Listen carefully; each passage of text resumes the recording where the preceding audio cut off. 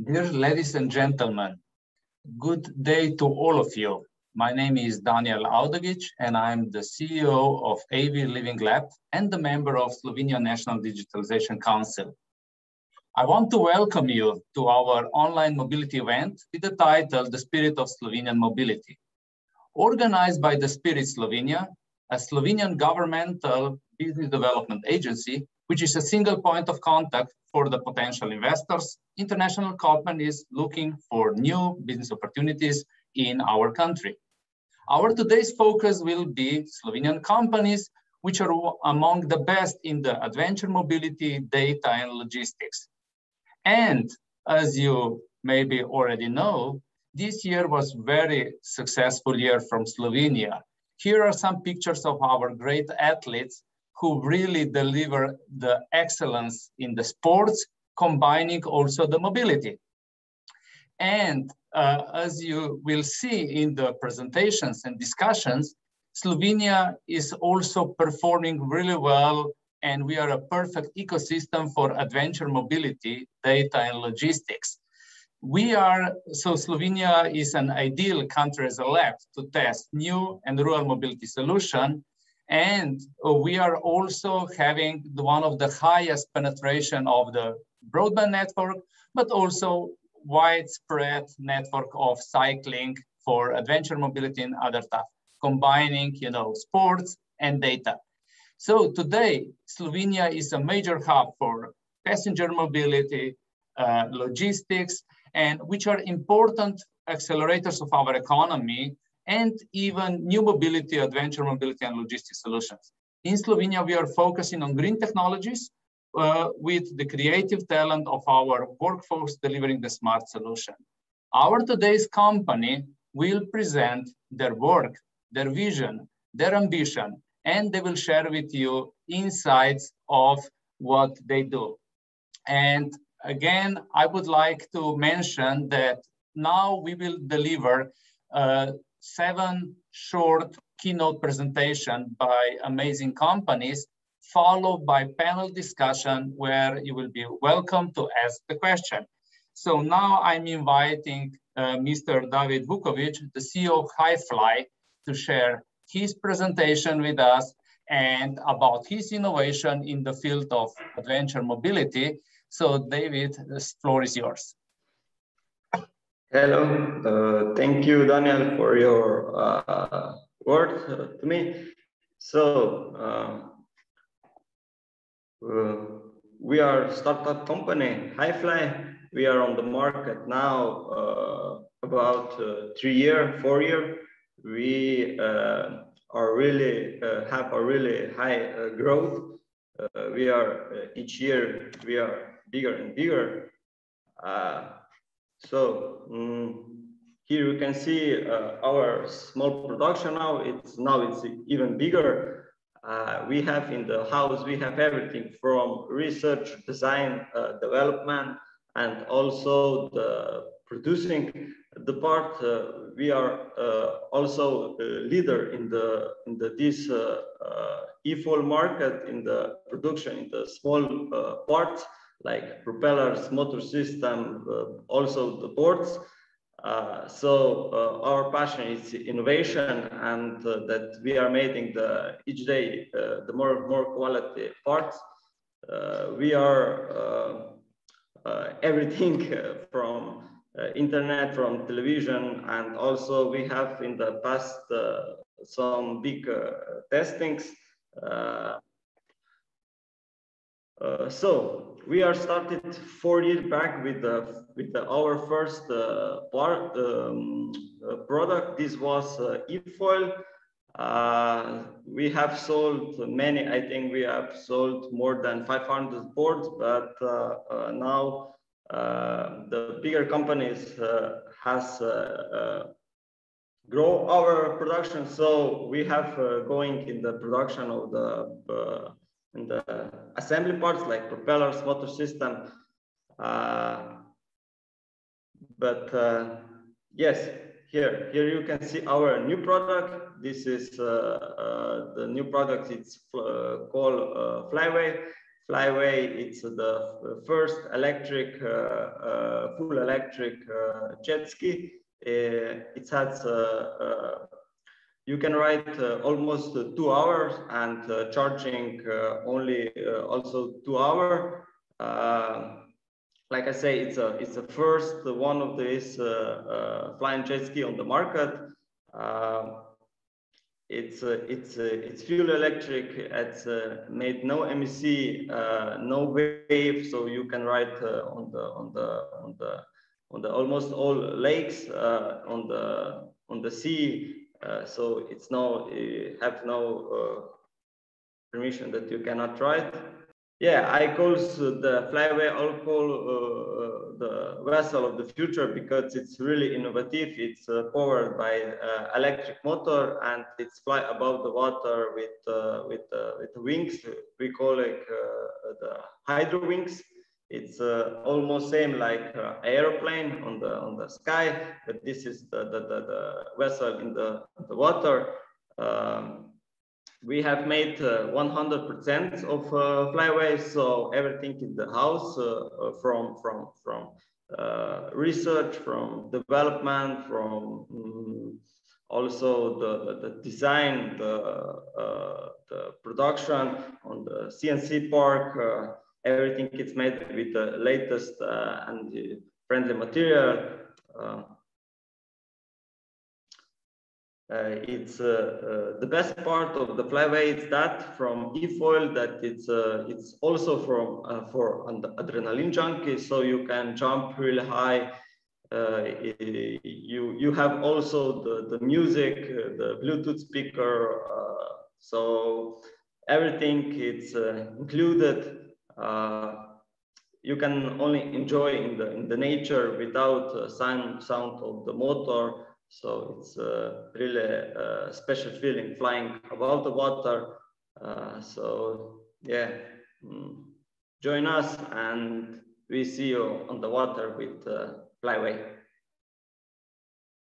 Thank you, Mr. Vukovič. And when we met Thank at you. Lake Velenje, I really saw how easy it is to start also for somebody for whom would be the first experience because the basic foil has you know limited you have limited stability because you have nothing to hold.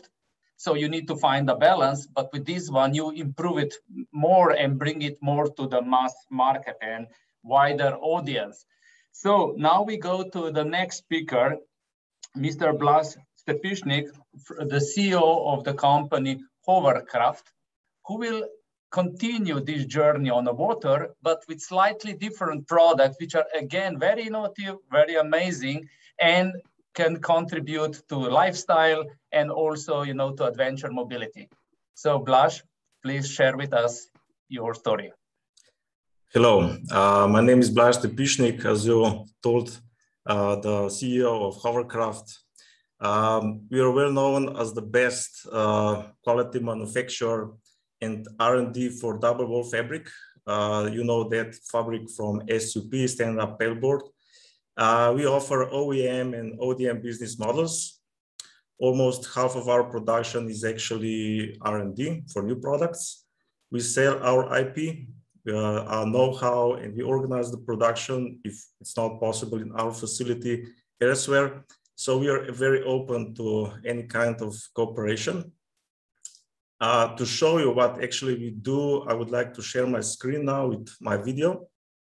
So uh, here you can see me working hard during the test, but usually I spend uh, my working time uh, in my production, in my office, where I only dream of those moments. I produce uh, the products which are in, in my family situation. Um, and those moments bring me experiences that I invent products which I like, and I hope you like them too.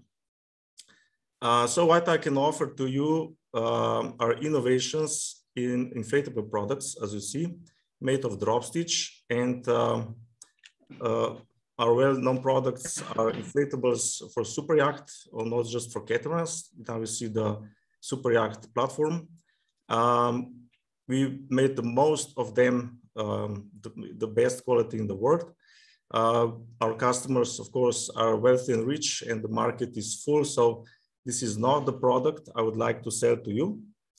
Actually, I would like to find partners with uh, sales net, with production, production capacity or capital for both.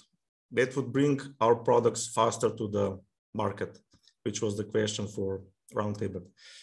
Uh, of course, uh, some products are already prepared for mass production.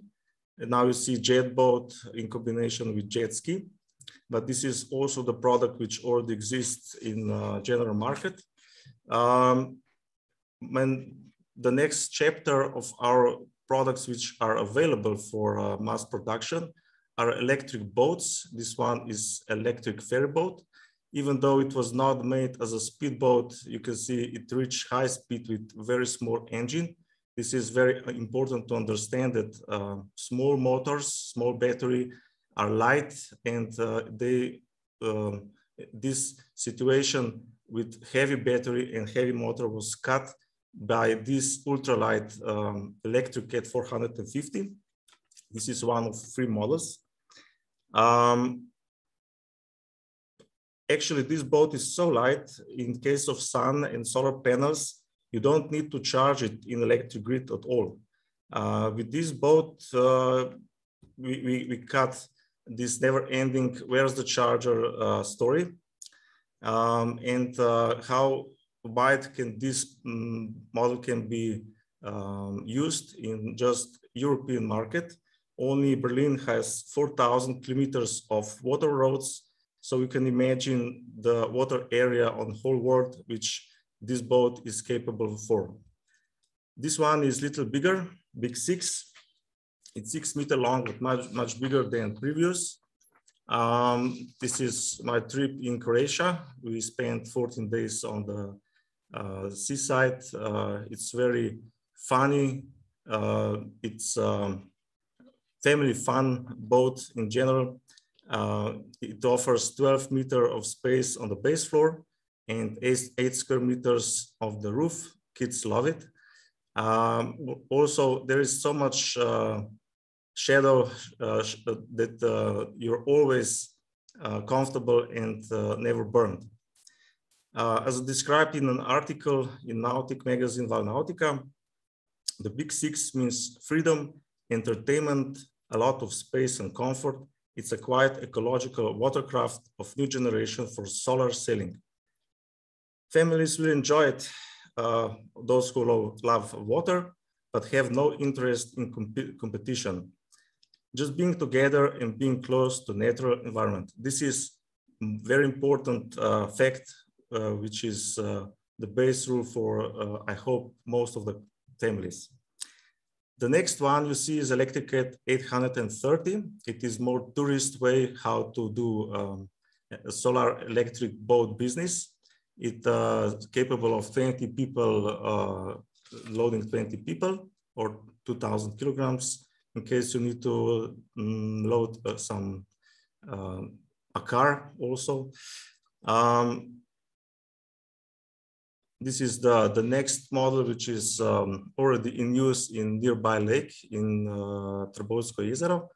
Uh, its uh, outboard is 11 kilowatt and it can reach more than 10 knots. It's enough to do some water skiing. Um, and it also bring uh, very uh, solar um, you, you, don't need to charge it at all. Uh, the solar panels are enough to, to bring all the electricity you need. Only in case of bad weather, then you need to charge it. But from normal charger, you don't need supercharger.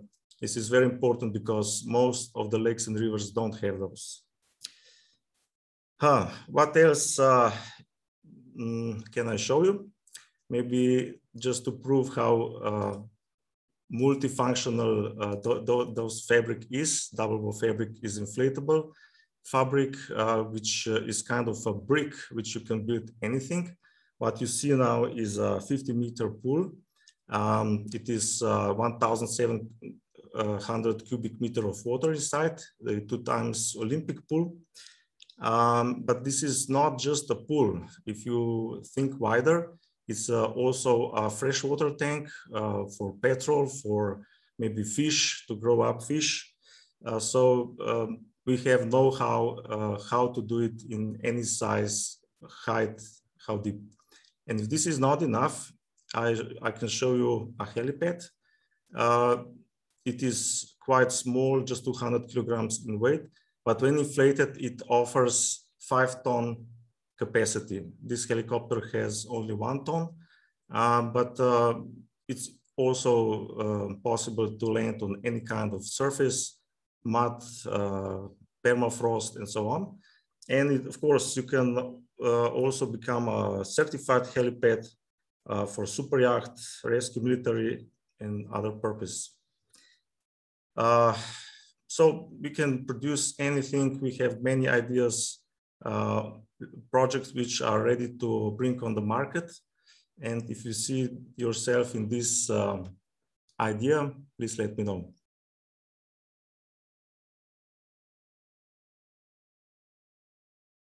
Thank you for this, Mr. Stepišnik. So as you saw, uh, we have flying jet ski. We have in basically the surfaces that we can build any kind of structures.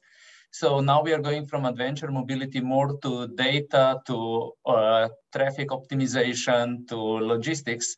So the next speaker is Ms. Urša Hribernik, the head of mobility at LIT Transit and she will share with us uh, her presentation.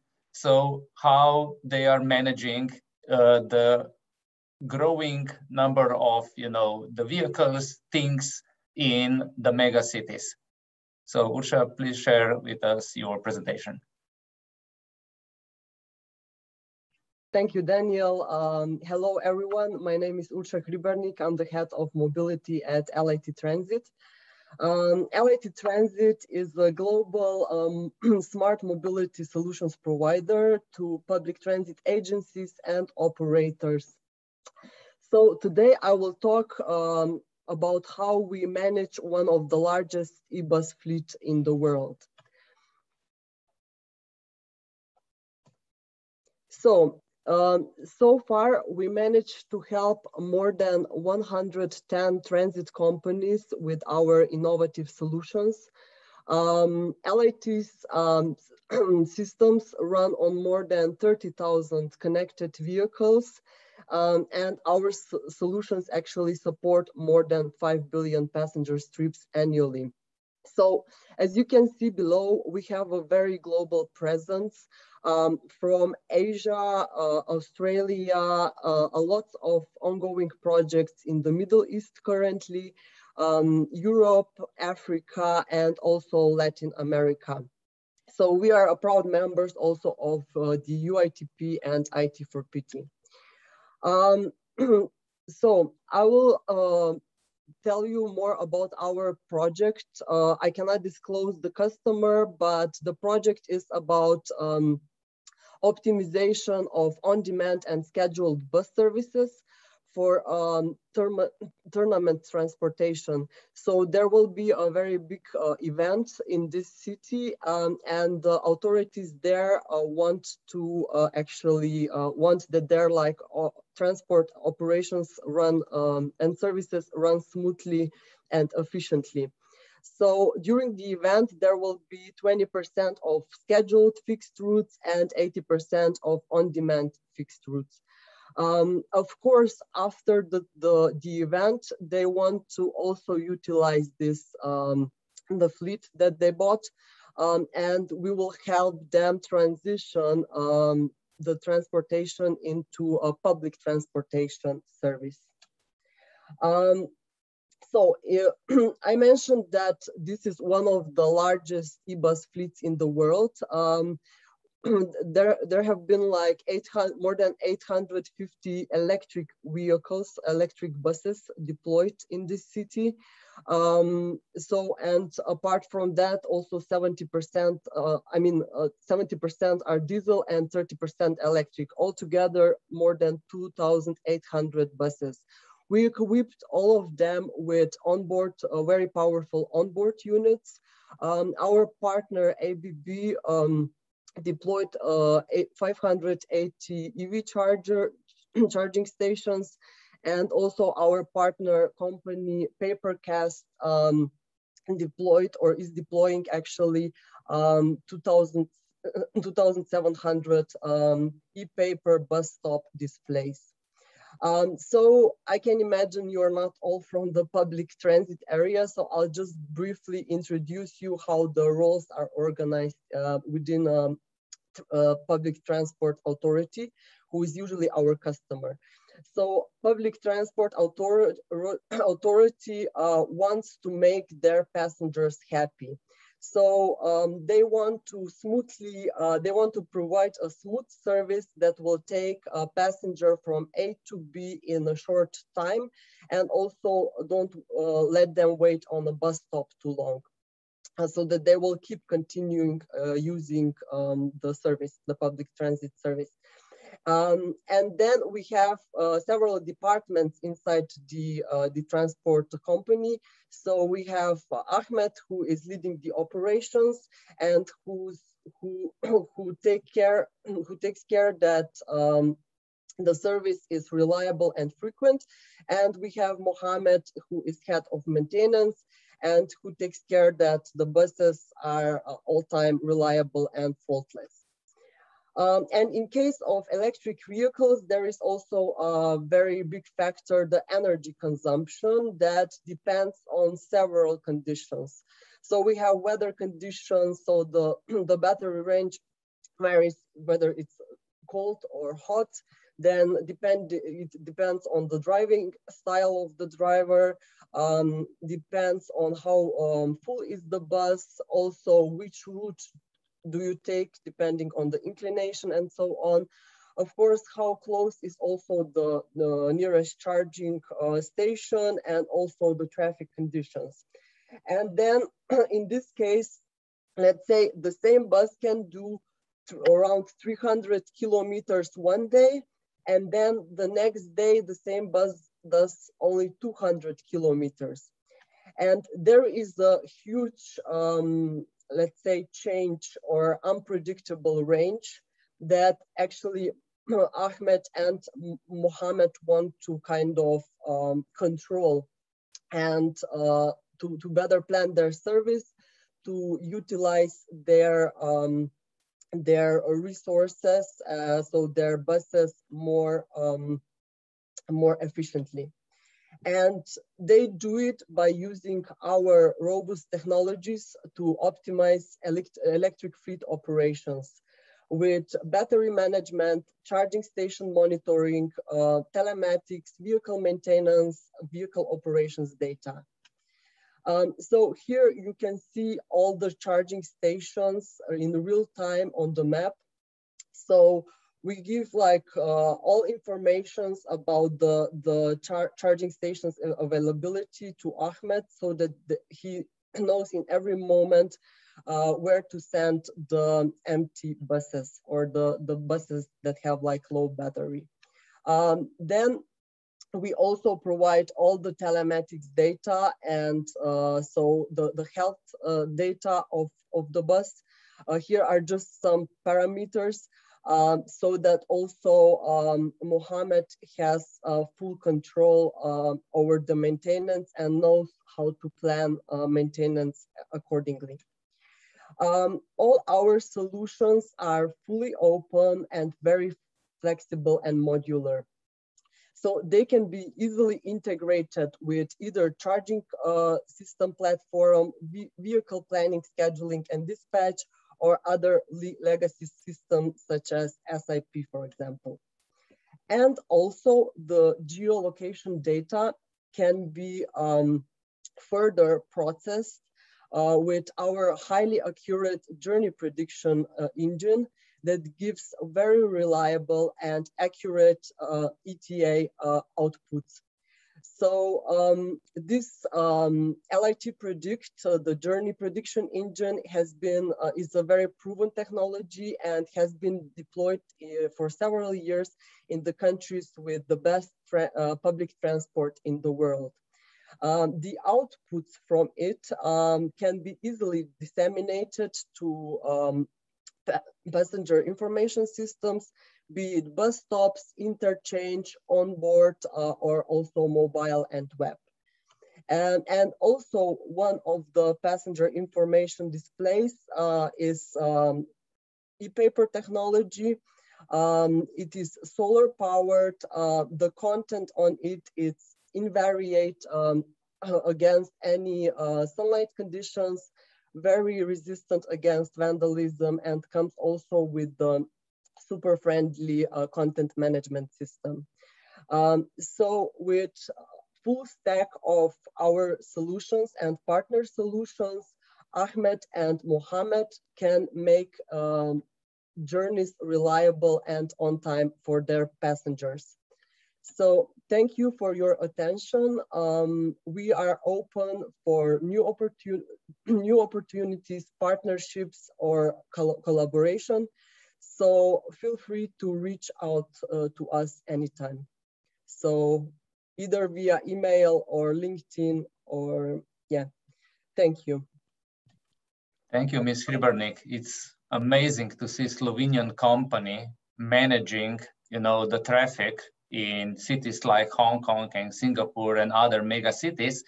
Uh, and I'm looking forward to our panel discussion later on. So now I will give the word to Mr. Rok Jesenko, the CEO of Monolit Company.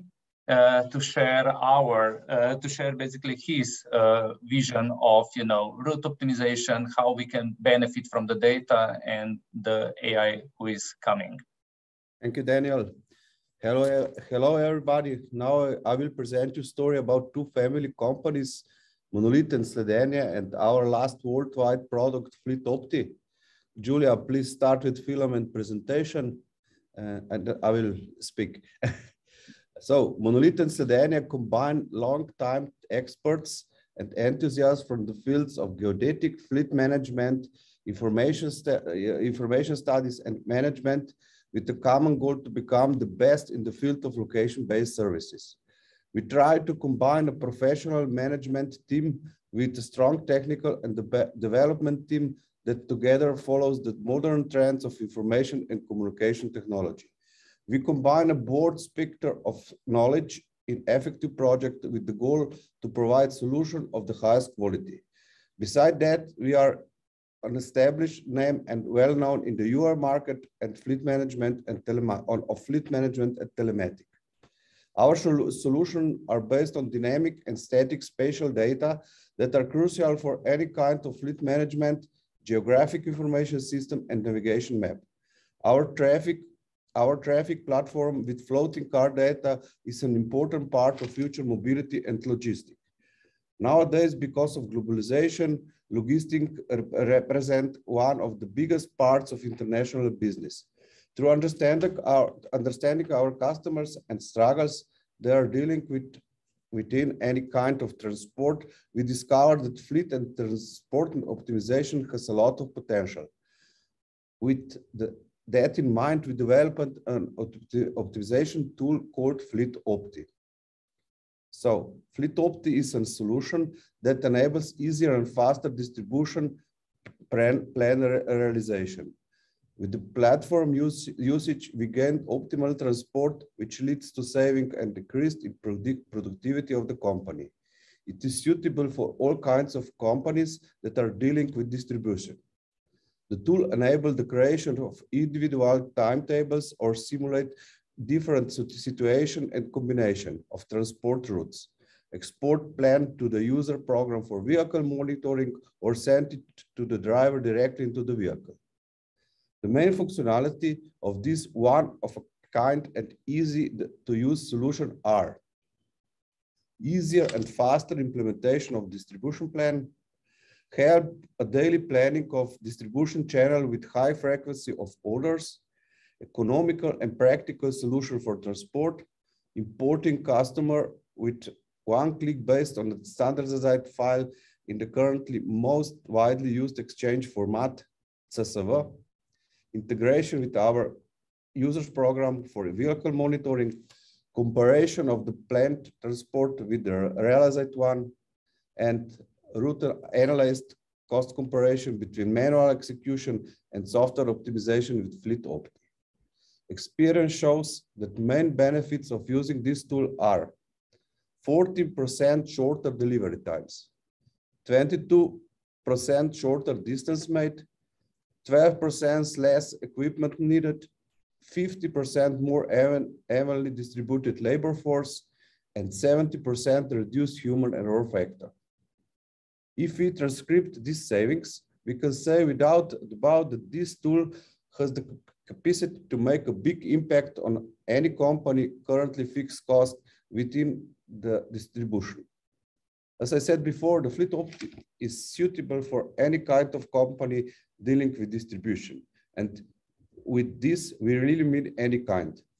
We were able to hide the complex, complexity of the software into a user-friendly tool suitable to small, smaller company without any logistic department, which were during the epidemic of COVID forced to adjust their sales and go online with delivery and also for bigger companies that would like to additional optimize their fleet. With constant looking for a bigger picture of our, our story doesn't conclude here. As a development company, we are striving to look forward in the future, follow the modern, modern technology trends, and I'm sure that you came to the same point to agree that the need of the dynamical spatial data within the autonomous mobility is inventable. Nowadays, the vehicles are ready for autonomous driving. They just need the digital infrastructure. The use of the FleetOpti solution and dynamic spatial data will help us to make exact prediction, and this will lead to less vehicle on the road, fewer traffic jams, indirectly smaller carbon footprint, and importantly impact the field of logistic, autonomous mobility, and everyday life in the future. And this is from me, uh, the end of the story. so I Thank you. Yes. Interesting for you. Thank you, Mr. Jesenko. Uh, thank you for this presentation. Of course, stay with us because in the panel discussion, we will explore more about your work and okay. about the products and how you will contribute to sustainable mobility in the future. So the next speaker is Mr. Luka Bradeško, the CEO of the company Solvesall.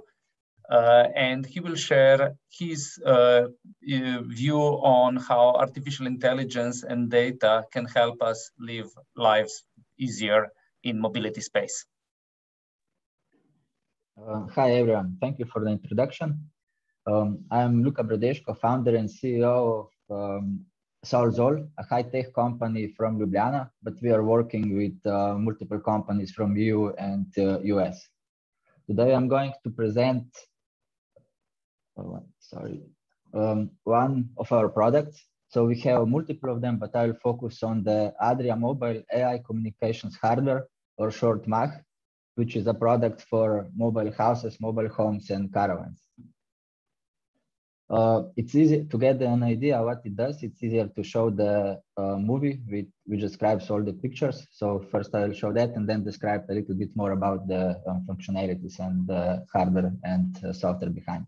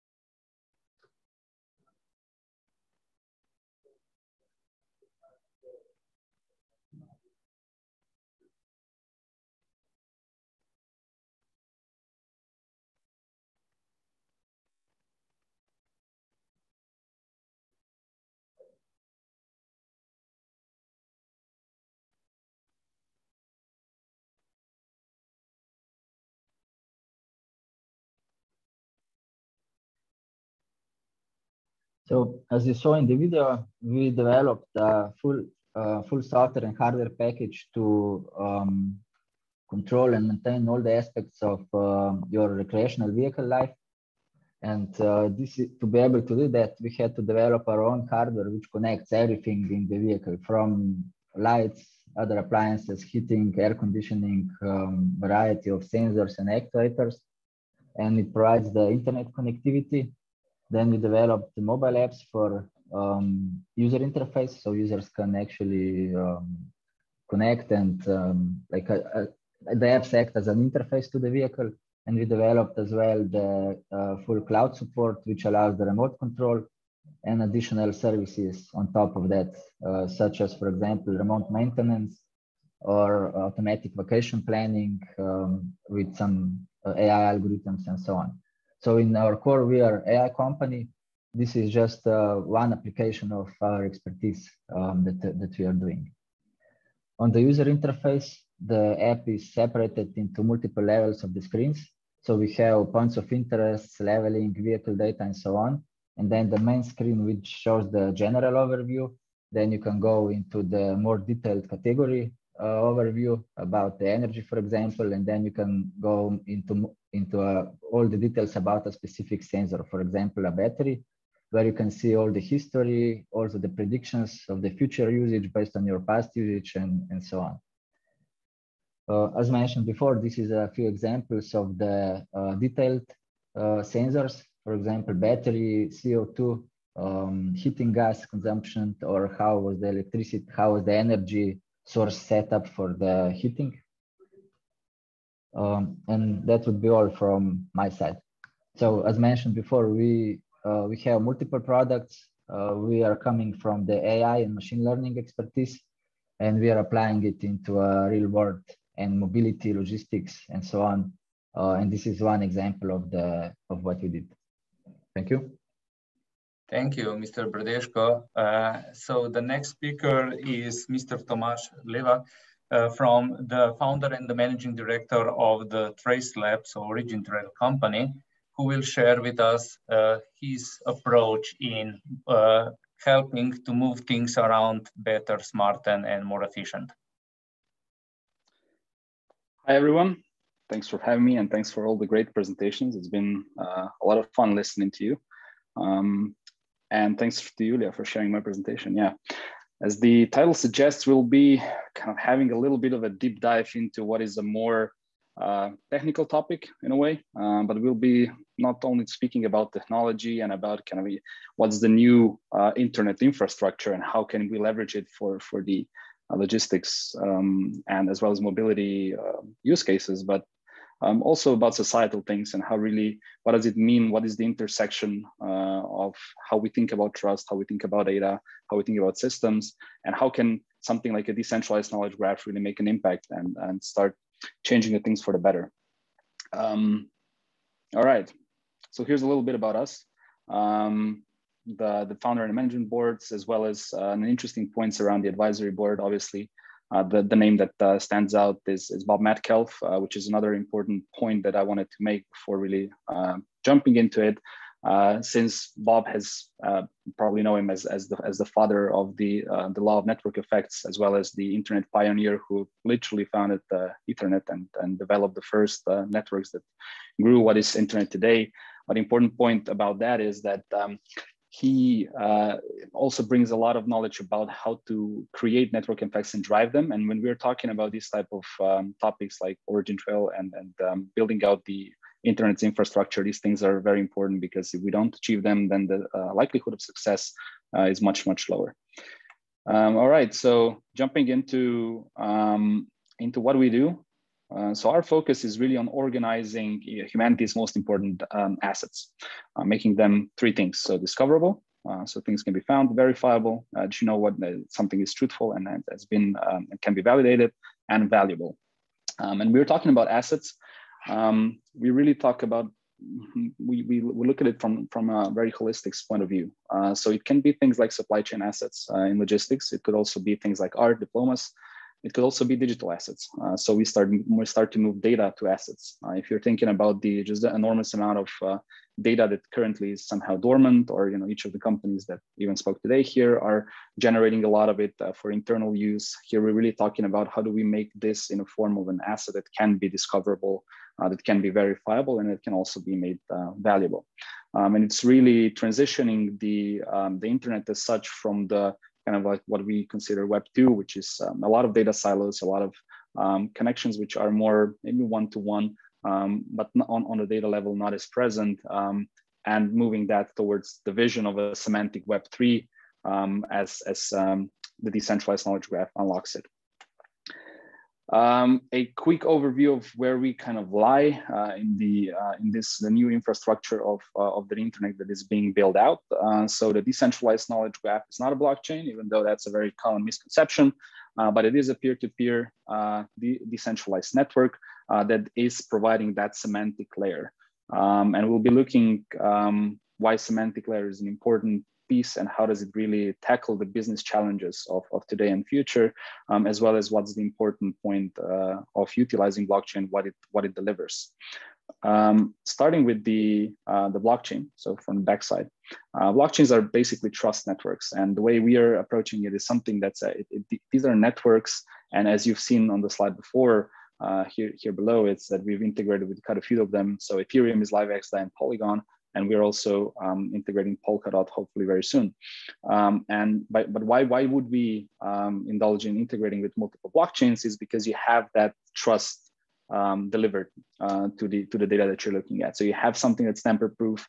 Uh, you can leverage it for things like identity, it, and then it also unlocks a lot of the interesting stuff that you can do uh, in with new concepts like DeFi and asset tokenization, which maybe today uh, we'll leave a little bit to the side.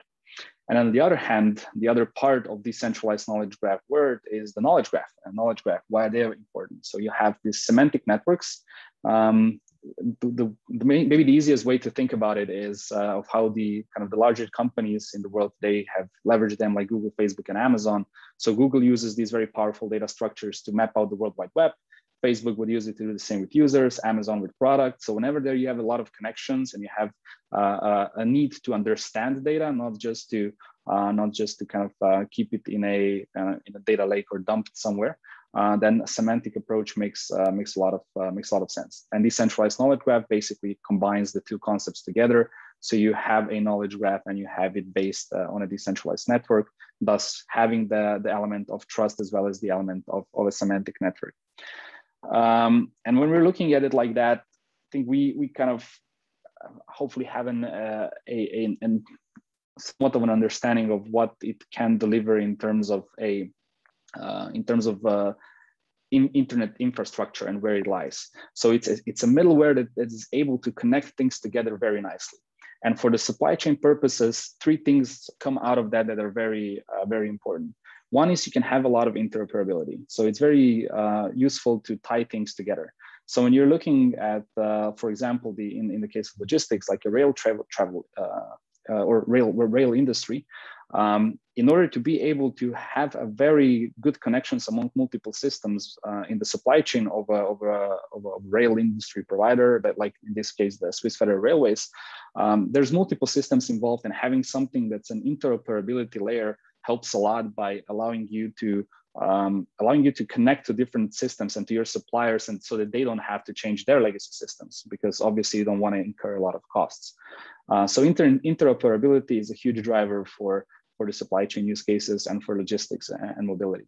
And then the other point that you can get out of it is interconnectivity. So it's not just about the fact that uh, you're able to kind of uh, have an um, you know a, a connection between two systems and for them to talk about it, but you're also creating connections that can allow further discoveries of, of data uh, within multiple systems. So that's kind of fun because if you start to build out different industry-wide consortia type of networks, uh, you're able to query a much larger, uh, or you can search for, for certain assets in a much larger setting that you would normally do. Um, so again, in, in case of maybe rail or pharma, you, you're, you're able to figure out, you know, all throughout all your suppliers and maybe even partners in, in your network uh, to learn more about a certain uh, a certain asset that you're looking at.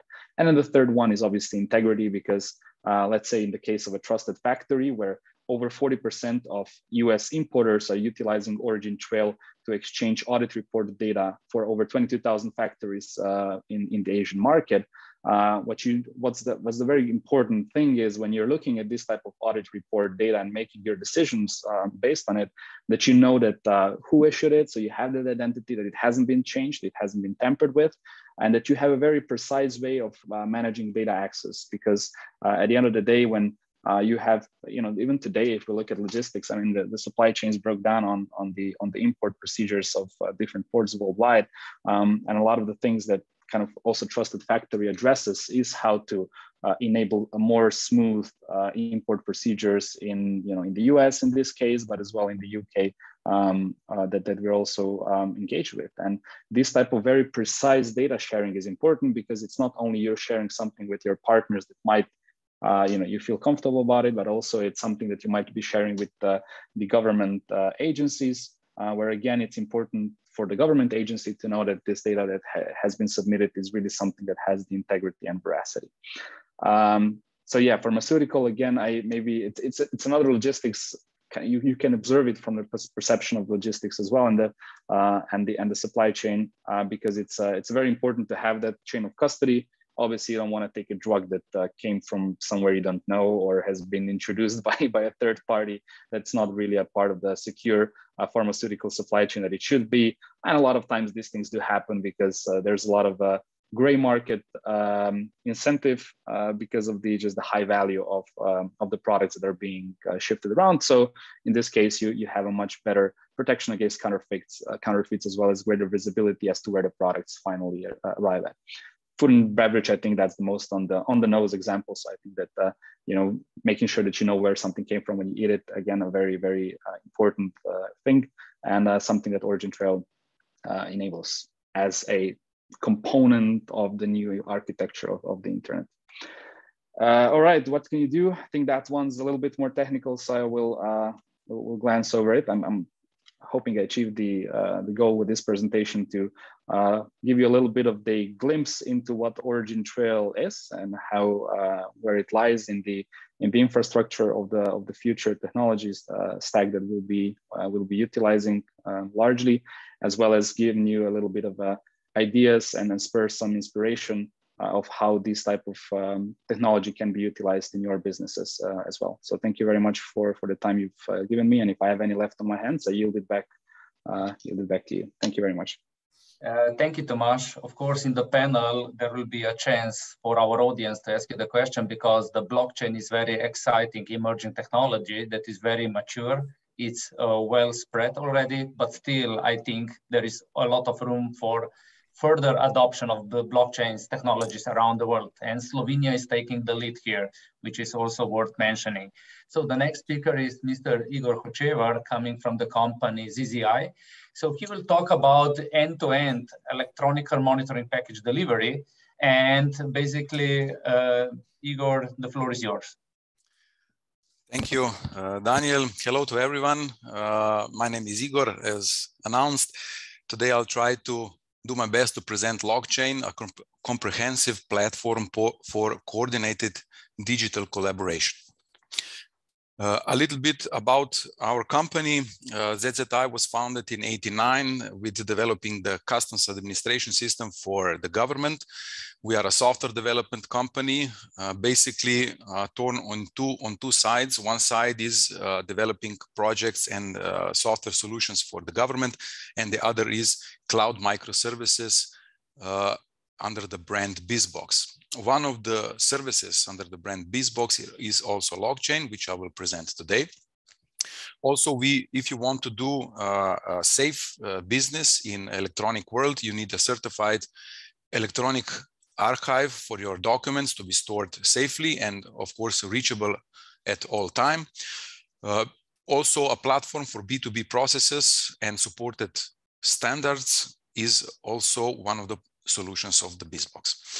Uh, the main uh, uh, perspective in our business is that we work with partners. That's why we have more than 46 integrations of our services into the different ERP, DMS, WMS, DMS systems.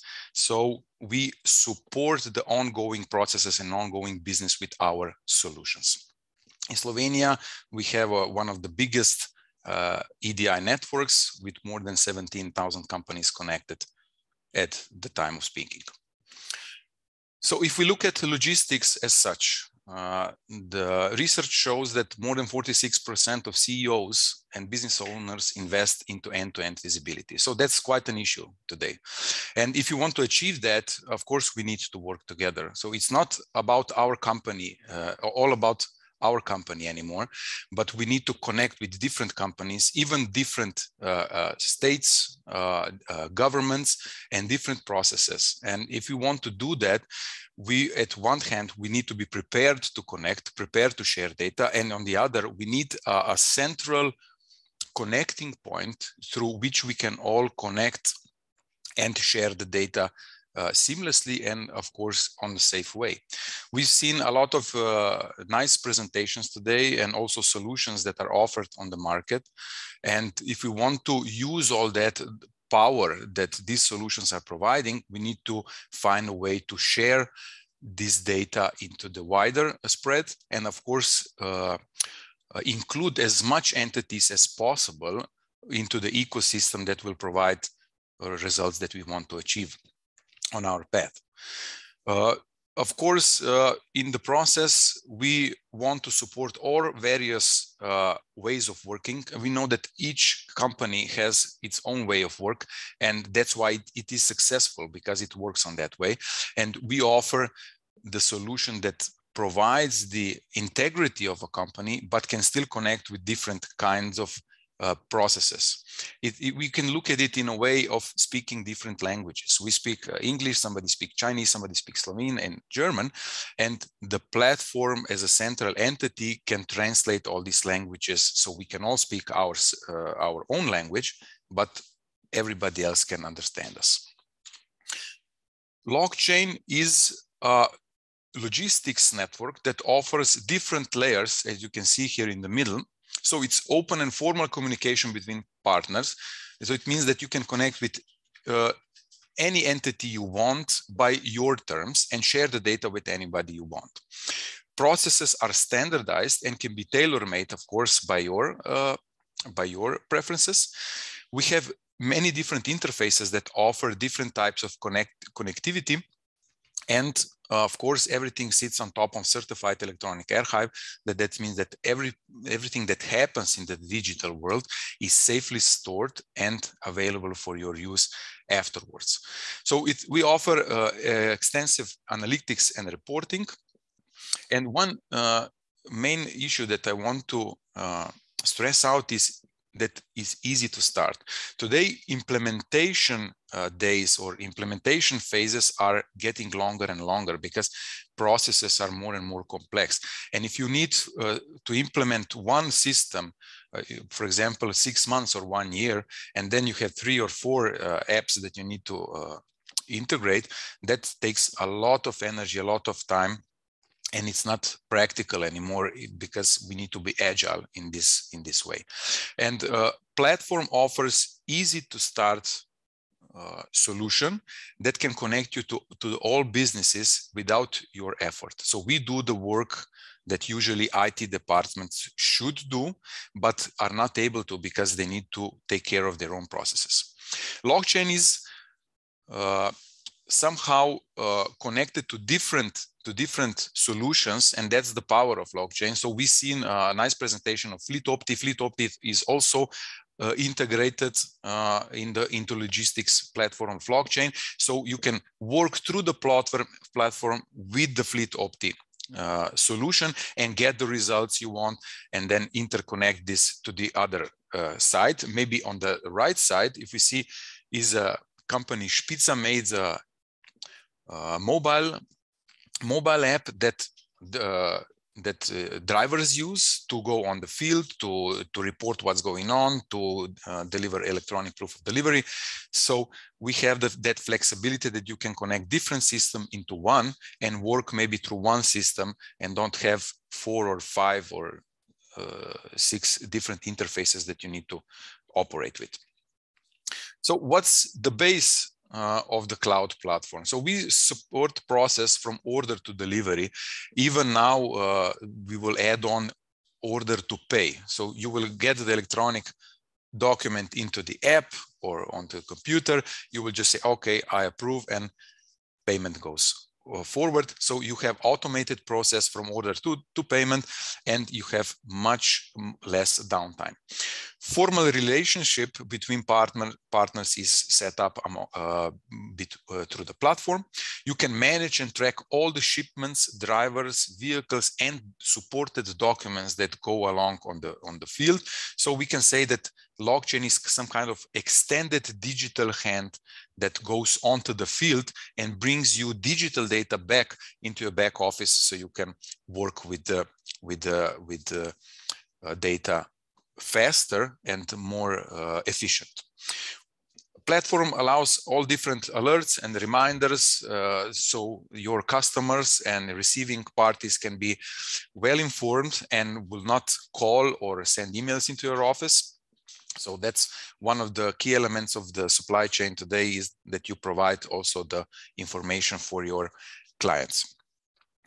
Uh, also advanced tools are uh, into the uh, incorporated into the platform. You you have uh, planning, insight into shipments, uh, signed doc signed documents, package uh, package uh, shipments and package packages to for returnable returnable package and also the the great advantage is that you eliminate paper in delivery so what do you get? You get control and management from the comfort of your own office.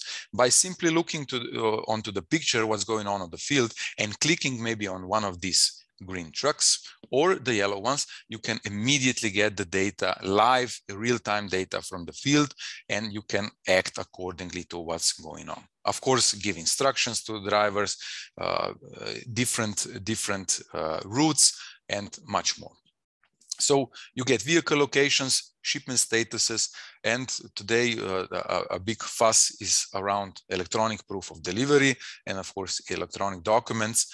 Uh, and it's much uh, easier to say that you can do it than to really do it and be compliant with all the regulatories and law law that is set up in supply chain.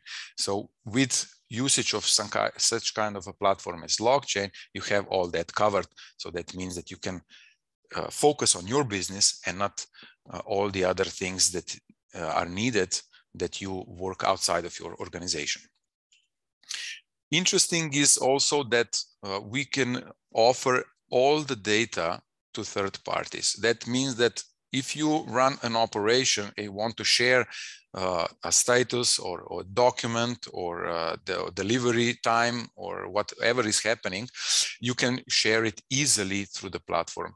Customer or receiving party just types in the document or their ID number and they can immediately see what's going on with their shipments.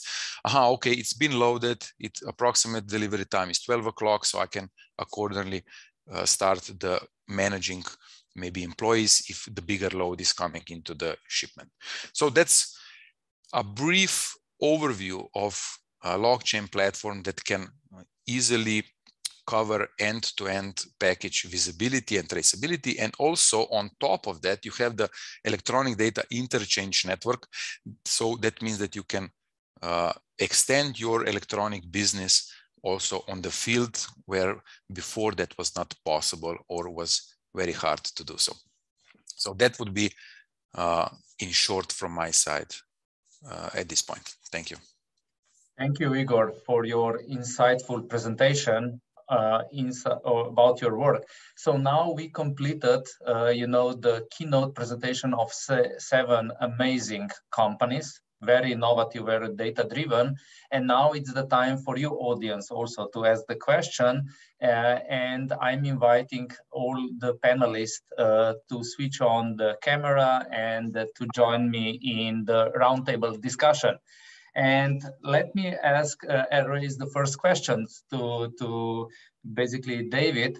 So David, uh, I saw your product. It's simply something that everybody will immediately like. Uh, I re still remember that it takes 20 minutes uh, to master it, which is super great.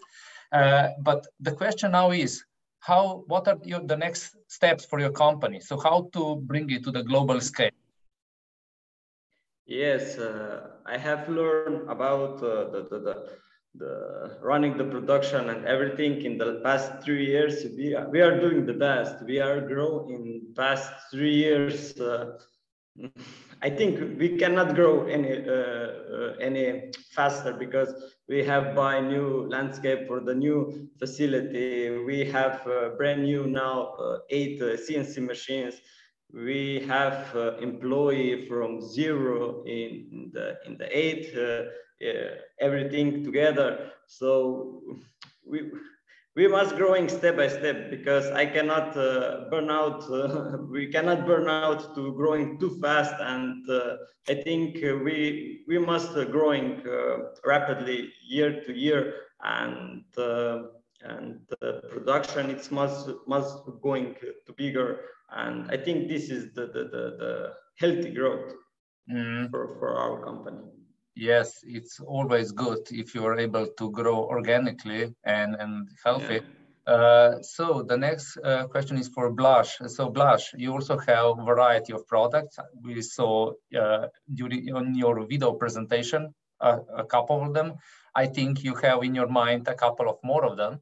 But similar question to you, you know, how to bring this to the market from a country like Slovenia and to bring it to the global scale because for sure you are solving many problems uh, around the globe. Yes, um, in general, we, we brought some products, only some products of all possible to the market. And it's always the way that we find a partner who is who already have a sales net or credit to do this. Um, maybe this is um, already existing company with um, similar products and uh, it would just bring our product to the, the rest and this is the shortest way. Uh, the other way around is to, to start a company and have uh, funds to do the presentation on fairs. Uh, but we all know that this uh, takes some time and quite a lot of money. So uh, yes, the shortest way is to, to do this uh, directly with the company who have roots in this market.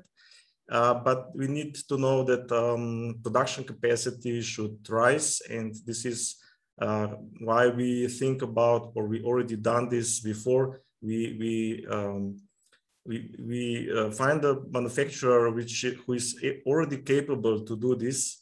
And we learn this uh, manufacturer how to do this, uh, how to make good products.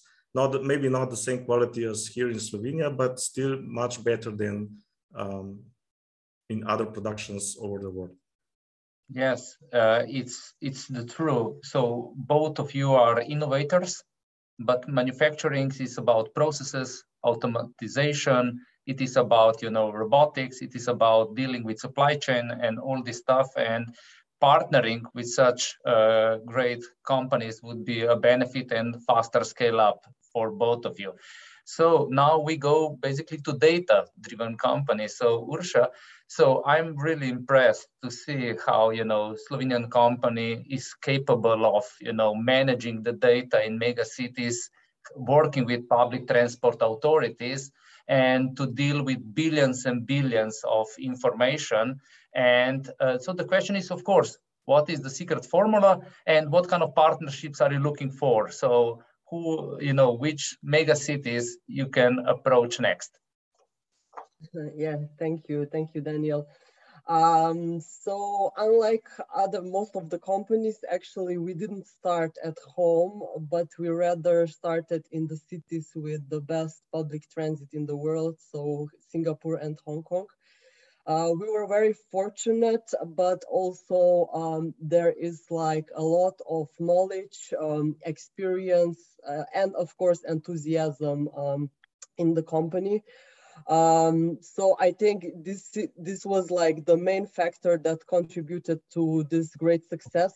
Uh, then second thing is, of course, we have very close relations with our customers and uh, partners uh, very agile uh, approach um, towards projects. And also, of course, our technology, um, we compared to the competition, we have um, very open systems that are very modular and flexible in design. Um, and this is what our customers like as well. Um, so yeah, definitely uh, we have a huge global presence already, but still like um, we put a lot of effort into new partnerships and um, um and um, let's say bringing new opportunities on board. Um, so would be happy uh, if we can also let's say take advantage of this event and uh, gain a new customers. So thank you. Yes, thank you, Ursula. So I will go back to Blaž because we got also one question for the audience, and basically it is related to you know COVID-19 pandemic. So was for your company this an opportunity or a challenge? And from both perspectives, from the employer perspective, but also from the product line, assuming that people were looking for, you know, spending quality time isolated somewhere far away from everybody. Uh, and uh, I would like to hear your thoughts on how the COVID impacted your business. Yeah. Uh, COVID infected, uh, infected us in both waves. Uh, first, we stopped our production. Uh, we, we were closed for eight months. But then in the beginning of this year, everything exploded. market just get hungry and uh, we have now problem with uh, how to hire good employees because market is less and less. And um, this is the biggest challenge now in slovenia. Uh, there are no good workers in the market. So our capacity is not growing as much as i would like to but uh, yeah we will solve it somehow in the future, but I don't know about the price. The price is going up. Also materials, also the labor. So in what how COVID affect us in the moment, we have too many orders, but not enough capacity and not enough fabric to do it. To do it. Uh, so we are affected in both directions. So this is the right opportunity to partner with you then. so thank you for your thoughts. So we go uh, to the Rok. Uh, Rok. So basically, you know, there is a big discussion about sustainable mobility. We know that UNESCO released the sustainability development goals and transportation is a big contributor to a global warming challenge. So uh, listening to your presentation, uh, and I saw that there are many things and companies are looking for uh, sustainable solutions. They are thinking how to achieve zero emissions society or a company. We even have in Slovenia more than 15 companies committed that they will be by 2030 completely zero emission companies and it's growing, the number is growing rapidly. So could you explain how the FleetOpti is contributing to achieve these goals and how companies around the world can implement to achieve these goals faster? Uh, like I said in my presentation, uh, companies will make less kilometer for the same or even better service uh, within distribution, of course. I think that I said 20, 22%. And on the other side, they will use less materials, of course, uh, uh, less uh, human resources, which will lead to reducing emission by, I think that on the on the our side by more than 40%. So we, we will still working on spatial data, on on uh, floating car data, on uh, dynamical data, and uh, with all this data in our product, we hope that uh, we will we will go in the right direction to to to become uh, zero uh, in 20 in 2040, like you say. Mm -hmm. Thank you, Rok. So, uh, Luka, when I listen to your presentation about, you know, the moving homes, you know, I always uh, immediately I said, what about uh, the homes, the static homes, you know, uh, the basically the real estate market. So, can be your solution also implemented elsewhere beyond mobility? Can it be implemented like, you know, smart houses, or maybe to mobility like smart cars? Mm -hmm. So the answer is yes. We already have some prototypes in the in both fields, um, but yeah, in both fields, it's somehow we we are searching for a partner to to actually go to the market. So to to come from prototypes to to the product. It's a somehow long way, and as a small startup, it's uh, pretty hard to compete. For example, in smart houses with uh, Google Home, Alexa, and like all the market is pretty, quite overcrowded already. So um, and th that's our status basically. We have plans, we have working prototypes, and we are using it for our own like personal homes and so on. But um, for going to market, we are still in search for a good partner um, and the strategy. Yes, and you are also active in Horizon calls, European research calls. So some companies can invite you uh, to jointly submit the proposal and explore more, you know, how technologies can be implemented. Uh, the license. Yeah, that's a really good idea, and we are actively now writing two proposals. And we, as a company, we are basically a spin-off from Jožef Stefan Institute uh, biggest research institution in Slovenia. So we have very good contacts there, and we are also like get invitations from them, and we are also able to build a little bit bigger um, consortium uh, if um, something like that happens. So we have yeah, this this is actually a good idea, and we are also looking into that, but a little bit with the left hand because we are focusing more on the business side. Um, but yes, that's that's uh, good opportunity we should all take and i'm inviting um, anyway everybody here to contact us. Yes. So like artificial intelligence is is the future. Also the blockchain technology is the future. And with us is tomaž. So tomaž uh, you know blockchain is heavily discussed topic. Uh, companies are looking into it. But what would be your recipe that we increase adoption of the blockchain in the companies? So what would you advise companies to do as a first step uh, to start engaging and implementing the blockchain technologies within their IT processes and operation? Yeah, thanks for the question. I think the, the first thing is with any novel technology is to, you know, get properly educated, um, learn about the what it is, how it works, what does it bring to your business. Um, you know, if you look at adoption of like a blockchain what you know in, in the in the space of logistics we've seen some movements you know. There's been we've had TradeLens like the big ibm and maersk joining together doing stuff. Um, but a lot of times we see that it's a it's kind of more of the same in terms of what we've seen so far already been done. With the like a slap-on addition of you know and, and this is now um, kind of it has it has a blockchain element to it which is it, it, it's good in terms of that you're driving digitalization. It's bringing more people on on board to, to use systems uh, any systems basically which is always good uh, because you have a better foundation in terms of what you can you can get going. But it shows and at least from from our experience what we've heard um, you know having these sensors spread out globally it's there are challenges to how far you can grow with that type of approach. And because it shows the same type of uh, constraints that has been shown before it's just that it's, it's you're never going to be able to succeed because it's uh, you're creating another data silos but it's just in a different form and you have a different underpinning tech from it so from our perspective you're really shifting the paradigm right so what we want to do is really look at how can you design something that's decentralized by nature that does not create the vendor lock-in, that does not create yet another aggregator of data, that does not create another um, you know, walled garden within which you everything is perfect and fine. But then as soon as you have to do something outside, because supply chains by definition, you'll you'll stumble upon that. Someone's going to have an SAP, someone's going to have an Oracle, someone's going to have something third, fourth, fifth.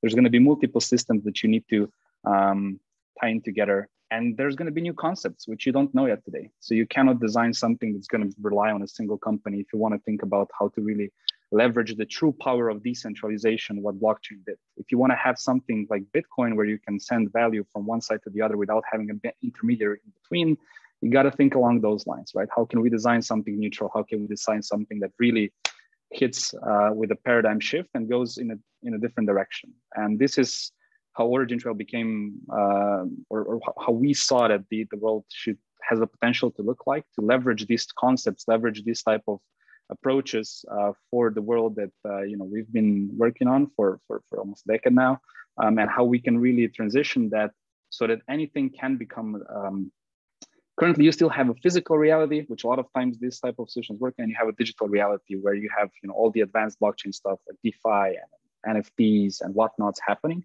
but they're very separate. What OriginTrail does, it brings, it builds a bridge of a, of a trusted foundation that allows a, a more clear connections between these things.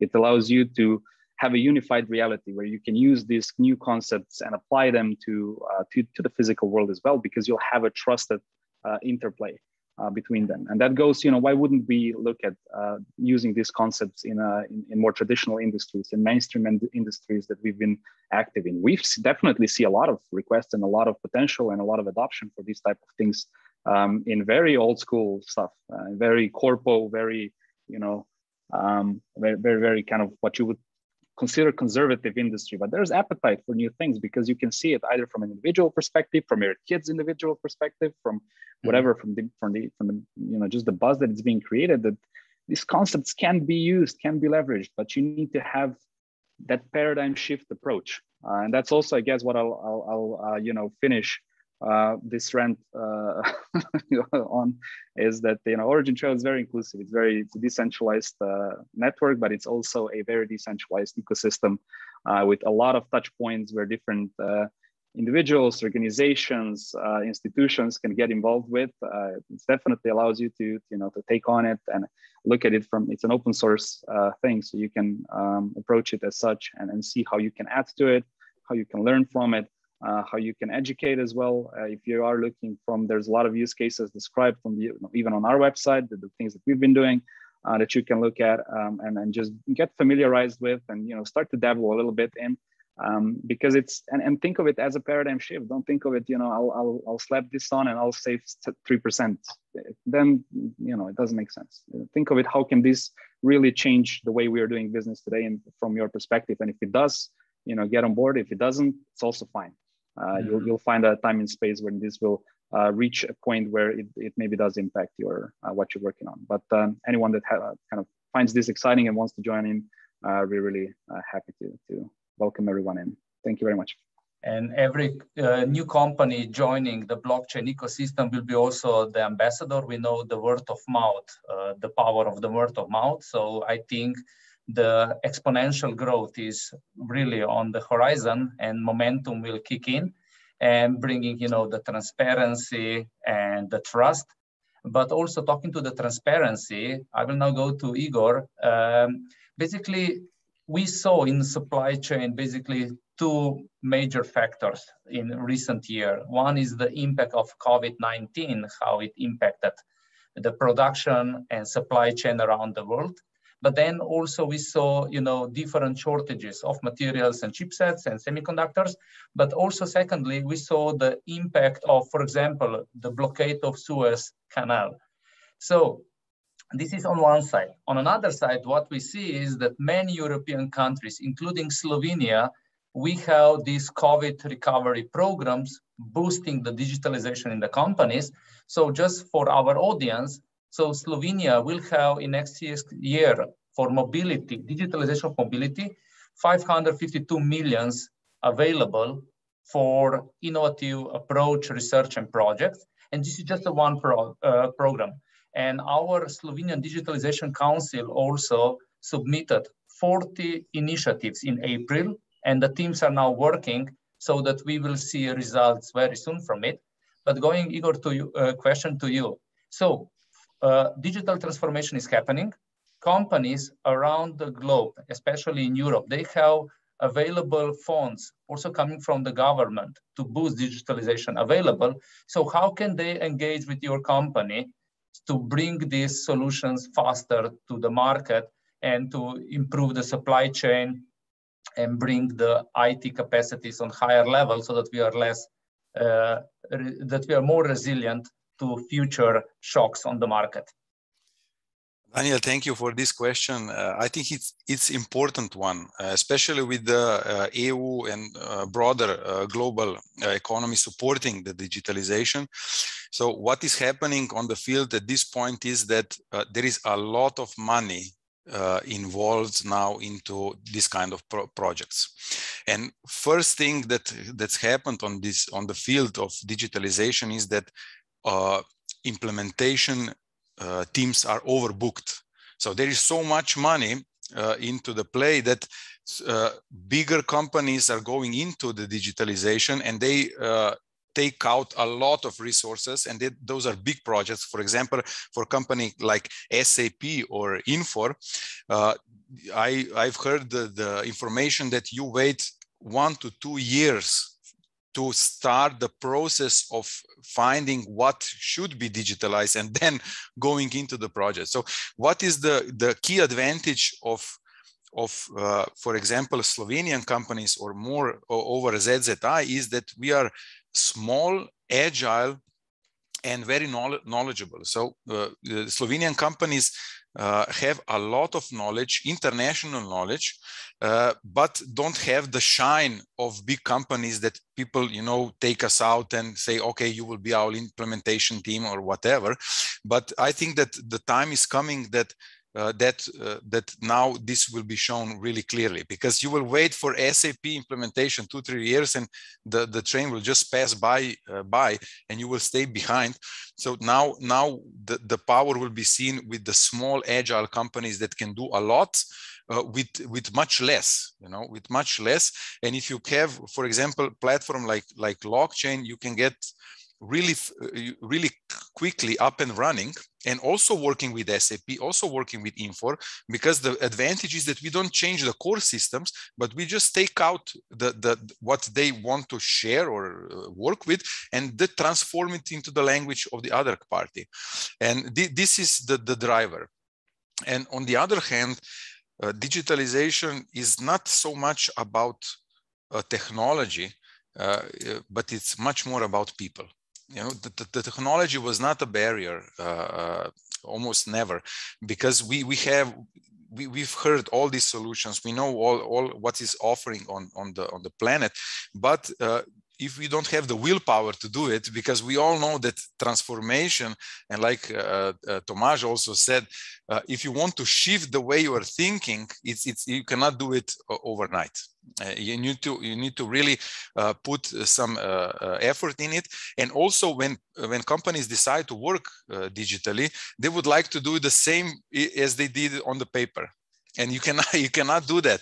You must completely change the process.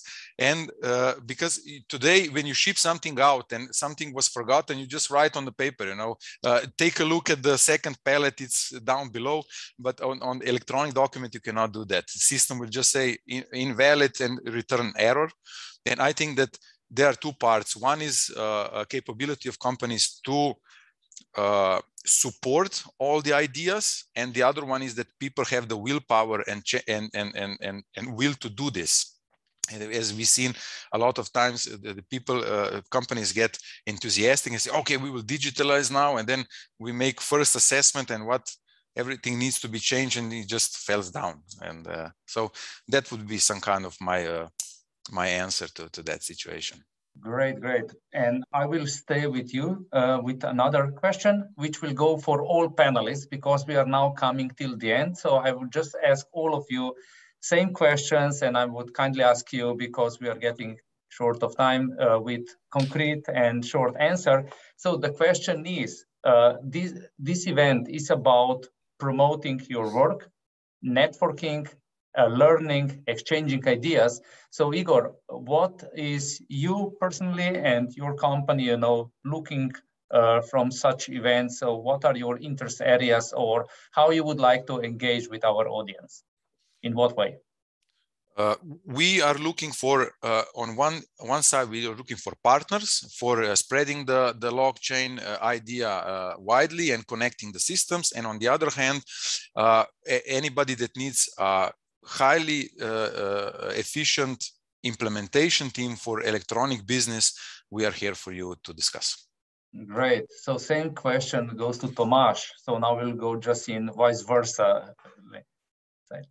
Sure. Uh, yeah, I think there are plenty of hooks. So if you found something of, uh, of interest uh, within that uh, origintrail.io, so you have a lot of the public channels there. If there's something you want to discuss directly, either a partnership or something that that kind of sparked your interest, you can also reach out to me directly on, on LinkedIn or Twitter. Happy to happy to chat. Great. So Luka, the question for you, what you and your company are looking for? So some of the uh, some of the part of the question I've already answered before, but uh, we are also looking, um, so, but we can offer um, AI and machine learning ex expertise if um, anyone uh, is needs it to, to uh, with this, this kind of things to bring the product to market. And we are also looking for partners. For example, I'll contact LIT Transit because we have some solutions for buses and also uh, a lot of data of the buses in Slovenia. Uh, we are working with LPP and Karish, uh, for example. Um, and we can also offer algorithms for uh, bus prediction arrival if you don't have it yet. Um, and as mentioned before, we are also looking for partners in um, other um, domains like uh, smart vehicles or self-driving vehicles and um, smart houses. Great, thank you, Lucas. So you. Uh, with Urša, uh, Urša, you can you know talk also offline about the possibilities. So Rok, uh, monolit and Sledenje. So what are yes. the in areas interest of uh, you're looking yeah, in the, in the first part, like say Igor before, and you see on the, his slide, uh, we are looking for partner. Uh, so uh, we are looking for partner in logistic uh, because we think that we have one of the product which, which can be integrated or it's a part of a big story. And I think that in Slovenia and worldwide, we have quite a big story like post like i don't know big big shopping centers and like this which they need uh, big logistic uh, on the other side uh, we are um, we know that we are very good in our data so uh, uh, I don't know if you know Monolit because Monolit is working on navigation map till uh, 20 years. So uh, on each uh, navigation data you drive in Slovenia, you have monolit data in, on Google, on Apple, on, I don't know, here, Garmin, every, everywhere. Uh, now we are working uh, already on dynamical uh, data. This is traffic information data. You see on DARS, this is the colors on the Google. So on the other side, we are looking and on the end, we are looking customers for our products, which is uh, which come from all this data. So FleetOpt is one of this project, and I think that every company which have one to 1,000 cars they need some optimization of uh, delivery, some optimization of uh, uh, estimated time, time, some optimization of people, of uh, vehicle, and so on. So we are open for all. Great, happy to hear that. So Urša, you're also, you know, uh, from the company which is very international. So what areas are you looking into? Partnering, investments, market expansions, yeah, thank you, Daniel. Obviously, there will be plenty of opportunities after this event. Um, so um, the, the main focus for us uh, at the moment would be uh, to expand our partnership network.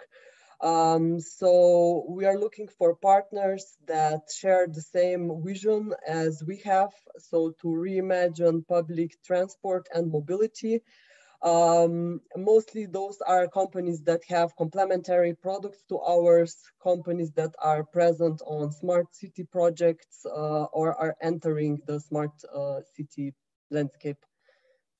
Great, thank you for your answer. And Blaž, similar question to you.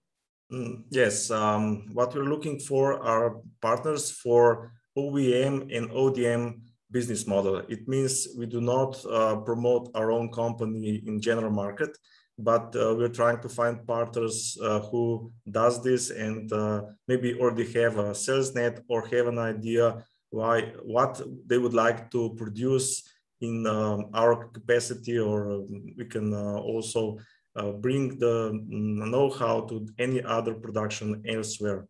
Uh, so the partners could also have an idea how to start with promotion this, of this kind of products. But of course, in this case, they need uh, quite a lot of capital to do this. Yes, it's capital intensive, you know, to bring products to the market. So David, I think you're in similar position, you know, it's again, it's about, you know, uh, dealership networks, manufacturing capacity. So what your company is looking for. And you're on mute, David. Yeah, it's fine. We are open to to to to um, any uh, any partnership. Uh, we are looking for for new uh, to scale up the production to scale uh, then uh, marketing, global marketing, because we are know that we are when we push this flyweight to the to the global market we are we are we are too small. We, we cannot handle it and it's good that we are preparing right now for this uh, grand opening. So we are we are open to to any partnership that can help uh, us to uh, push flyway to the global market Okay, thank you, David. And thank you to all panelists for your contribution, your insights, sharing your amazing and very successful stories. So I'm pretty sure that uh, we will hear more in near future. So I would like really to thank you. And I would also like to thank our audience for participation and questions. And I would just like to mention three things. So this event was organized by the Spirit Slovenian Development Agency, who is also leading Slovenian Pavilion at Expo.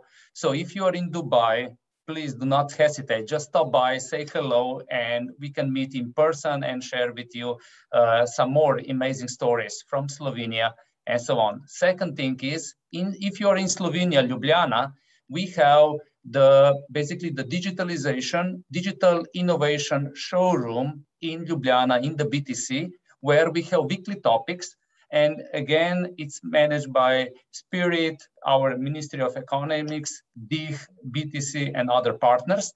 And the third thing is, and this is my personal wish, is that we will win this pandemic as soon as possible so that we can all meet in person. I like digital, but I like more face-to-face -face meetings. So I'm really looking forward to meet you very soon in person so that we share even more amazing stories. So with that, I would like to conclude today's event. I wish you a lovely day and talk to you soon and see you soon as soon as possible.